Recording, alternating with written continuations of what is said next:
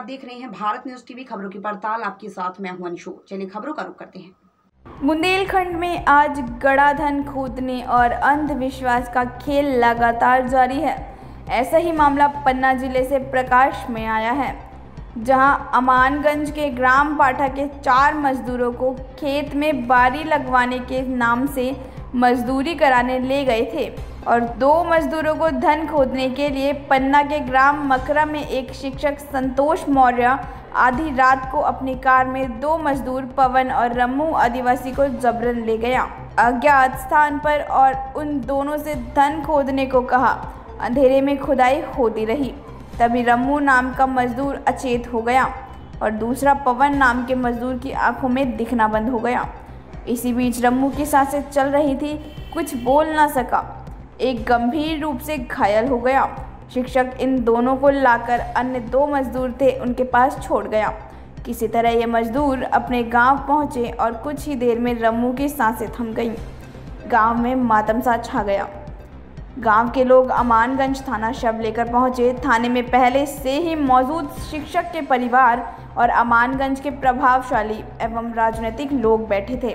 Police से पहले ही साठगांठ हो चुकी थी, ऐसा सूत्र बताते हैं। और ऐसे आरोप गाँव के ही मजदूरों ने लगाए हैं। शिक्षक पर जो मजदूरी करने गए थे, एक पवन नाम का मजदूर जो अति गंभीर था, उसे परिजन गाँव वालों की आर्थिक मदद लेकर कटनी जिला ले गए।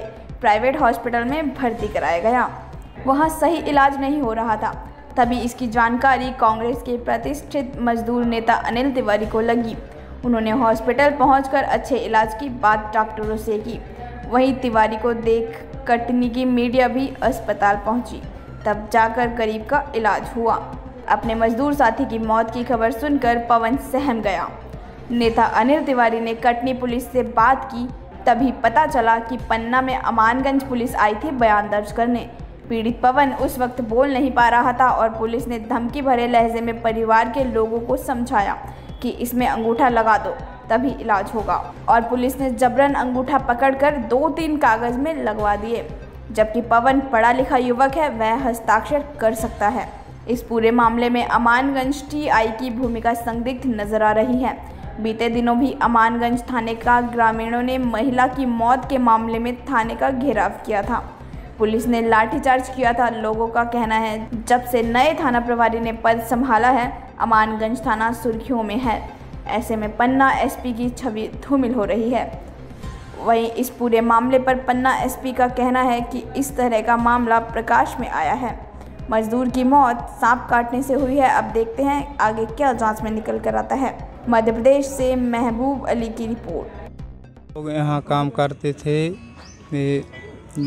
जो गाँव का नाम कौन है सिमरा। सिमरा। सिमरा हम लोग गया थे तो वहाँ हम लोग रात को लेवा गए हमको रमू मौर्य। और संतोष मौर्य।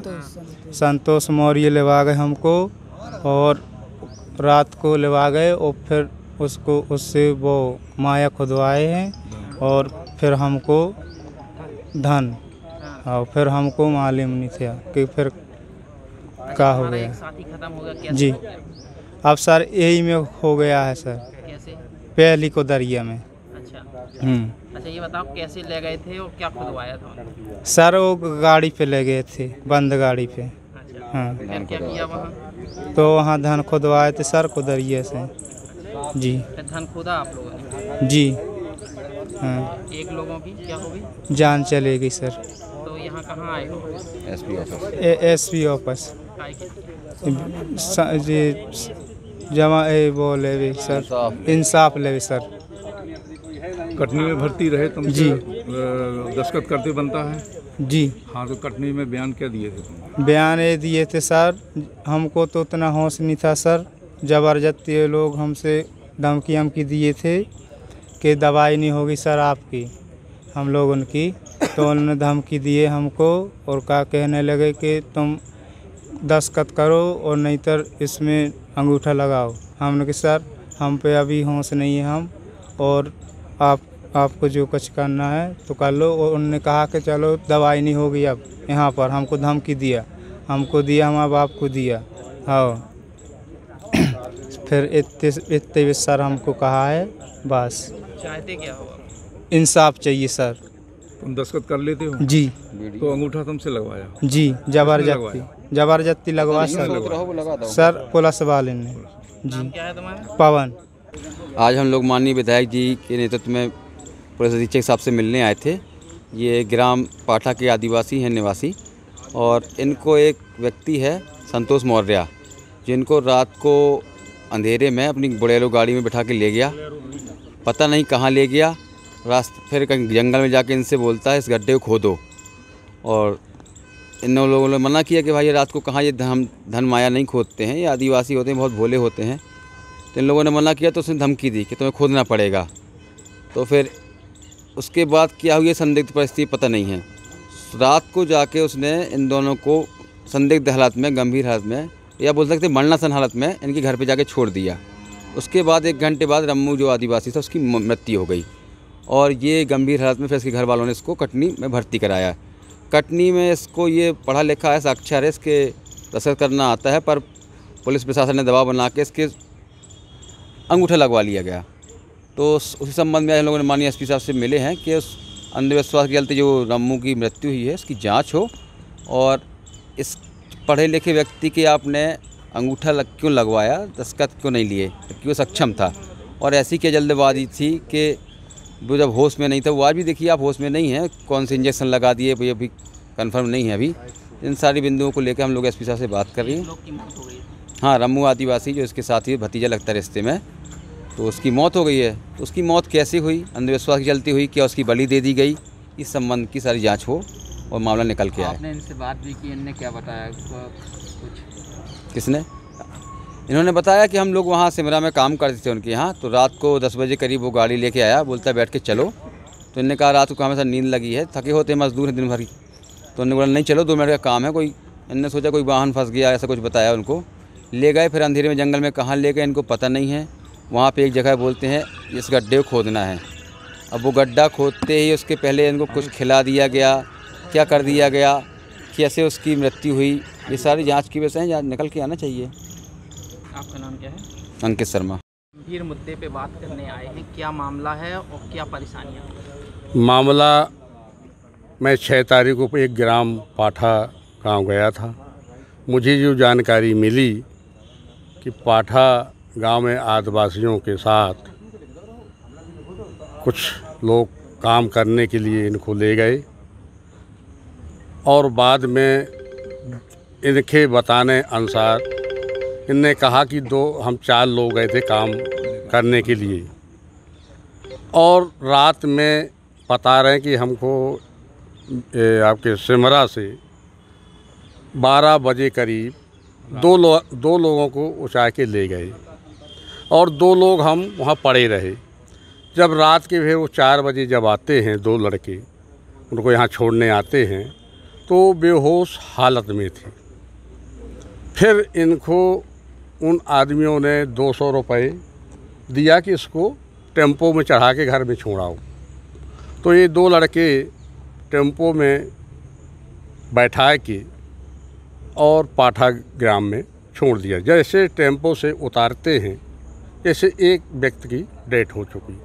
दूसरा सीरियस था, ये है।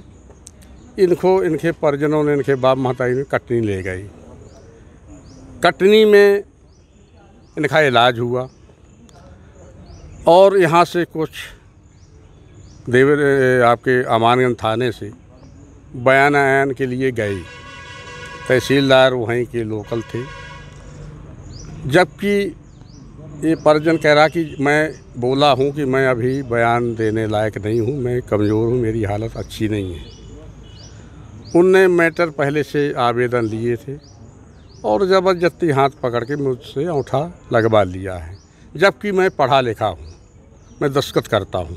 कौन है इन्होंने ये किस किया? है अब इनने बताया कि ये कोई संतोष मौर्य हैं। वही है ना भैया? क्या करते हैं? और ये बताया जाता कि इनके पूर्व नगर पंचायत के अध्यक्ष भी थे। उनके भाई हैं। और मैं एसपी साहब से यही कहा कि पाठा ग्राम के आदिवासी हैं तीन चार लोगों को वहाँ के अमानगंज के संतोष मौर्य हैं इनको कुछ काम के से ले गए थे सेमरा खुर्द। वहाँ उन्होंने अपनी खेती बाड़ी का काम कराया इसके बाद दो लोगों को ये कुछ धन उन खुदवाने के अंधविश्वास के चक्कर में दो लोगों को रात में ये ले गए दूसरी जगह।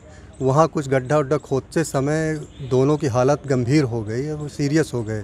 तो ये ये ले आए सिर पे वहाँ पर, जबकि इनकी नैतिक ज़िम्मेदारी थी कि वहाँ हॉस्पिटल पास में है जिला का, वहाँ ले जाना चाहिए था। वहाँ उपचार, यदि कोई उनके मन में कोई गिल्टी कॉन्सेस नहीं था तो इलाज करवाना चाहिए था। इलाज न करवा के इनको उसी हवाले में इनको छोड़ दिया, ये बेचारे लेके अमानगंज पहुँचे और तुरंत एक आदमी की डेथ हो गई। इसके बाद एक सीरियस था, वो कटनी ले जाया गया। कटनी में मृत्यु पूर्व कथन तहसीलदार के सामने लिए। अब तो उसका औचित्य नहीं रह गया, क्योंकि वो तो अब जीवित है और जीवित अवस्था में अब यहाँ बता रहे हैं कि वहाँ पर पढ़े लिखे होने के बावजूद भी अंगूठा लगाया गया दबाव में बयान दिए गए। तो ये सब सारी चीज़ें बहुत संदिग्ध परिस्थितियों में मौत हुई है और इसके जिम्मेदार निश्चित तौर से प्रथम दृष्टया बनते हैं कि इलाज क्यों नहीं कराया गया उसका डिस्ट्रिक्ट हॉस्पिटल में जबकि नज़दीक डिस्ट्रिक्ट हॉस्पिटल था। तो एक ये करते क्या हैं? वो संतोष मौर्य हैं अमानगंज के वो तो मैंने टीचर हैं। और उनके भाई नगर पंचायत उपा अध्यक्ष रहे हैं भाजपा के अच्छे लीडर हैं तो उसमें ऐसा लग रहा है कि प्रशासन दबाव में कुछ अच्छी तरीके से जाँच पुलिस भी दबाव में नहीं कर रही जाँच नहीं तो साफ़ साफ़ अब तो मृतपूर्व कथन जो लिए गए तहसीलदार से उसका तो कोई अस्तित्व नहीं हुआ तो अब जीवित अवस्था में यहाँ पे आप एस पी साहब के सामने बयान आज आपने एस पी साहब से हाँ तो यही कहा कि हाँ तो ये दो लड़के भी मिले वो भी मिला है और बताए हैं कि ये परिस्थितियाँ संदिग्ध अवस्था में बहुत डाउटफुल ये डेथ है इसकी बड़ी गंभीरता से जाँच होनी चाहिए दोषी आदमियों को इस पर कार्रवाई होना चाहिए और दंड मिलना चाहिए। आनंद शुक्ला। थाना अमानगंज कपाठा गाँव है। वहाँ पे आ, कुछ ग्रामीण व्यक्ति स्थानीय जनप्रतिनिधि के माध्यम से अपना आवेदन पत्र कल आकर प्रस्तुत किया था। आ, उनका ये कहना था कि आ, एक व्यक्ति की मृत्यु हो गई है। इस संबंध में हम लोग पहले ही कार्रवाई कर चुके हैं, उसमें मर्ग कायम हो चुका है पोस्टमार्टम भी कराया जा चुका है और संबंधित व्यक्ति का विसरा प्रिजर्व करके एफएसएल में ड्राफ्ट बना के उसको भिजवाया भी गया है। तो इस संबंध में एफएसएल की रिपोर्ट आना बाकी है और साथ ही साथ इसकी जाँच भी थाना मानगंज के माध्यम से की जा रही है। इसके अतिरिक्त एक और व्यक्ति हैं जो कटनी में इलाजरत थे और स्वस्थ होकर आए हैं वो भी पूर्व में अपने बयान दर्ज करा चुके हैं और डीडी में भी उन्होंने स्थानीय तहसीलदार के माध्यम से अपने बयान दर्ज करवाए। तो उन्होंने जाँच में कुछ नए बिंदु प्रकाश में लाए हैं अभी उन पर हम लोग जाँच कर रहे हैं। कुछ सर धन खोदने जैसे अंधविश्वास के मामले में मौत हुई है ऐसा कुछ बता रहे हैं? पूर्व में इस तरह की बात आई थी लेकिन संबंधित व्यक्ति ने सर्पदंश के माध्यम से इस प्रकार की घटना होना और उनका हॉस्पिटलाइज होना बताया था। यही बात उन्होंने कई कई बार अपने बयानों में दी है। लेकिन जो भी तथ्य होंगे, इसमें सामने लाए जाएँगे और उस संबंध में थाना प्रभारी के माध्यम से जाँच भी की जा रही है।